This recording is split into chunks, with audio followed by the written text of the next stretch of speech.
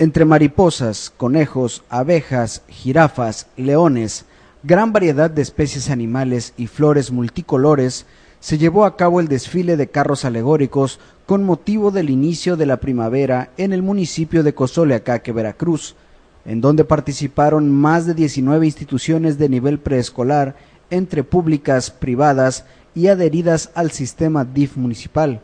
Fueron más de mil alumnos los que desfilaron sobre la calle Miguel Hidalgo con vistosos trajes de gran colorido, unos con temática de la naturaleza, su flora y fauna, otros con disfraces más modernos, pero todos con el mismo fin, celebrar la primavera mediante el mensaje de cuidar a los animales y las plantas que nos rodean.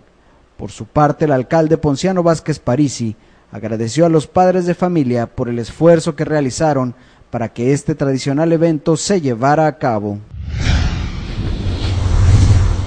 Sí, realmente el entusiasmo de la familia, toda la familia realmente, a todos ellos por, por, la celebración. realmente la educación, uno ha dicho, es los primeros compromisos que uno tiene, vamos a apostarle muy fuertemente a la educación, es lo que siempre hemos traído muy fuertemente, seguir apostando en la educación, lo seguimos haciendo.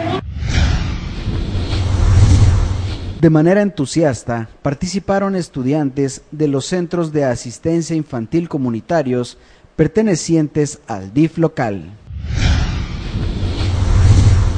Ayer fue la coronación de nuestros reyes infantiles de, los CAIX, eh, donde tenemos siete CAIX y, hoy, bueno, eh, con la participación del ayuntamiento y obviamente de la Dirección de Educación, bueno, estamos participando nuestros niños aquí en, el evento del desfile de, primavera.